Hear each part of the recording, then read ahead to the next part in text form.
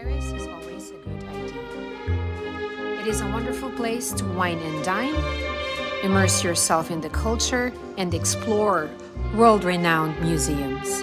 You can never go wrong.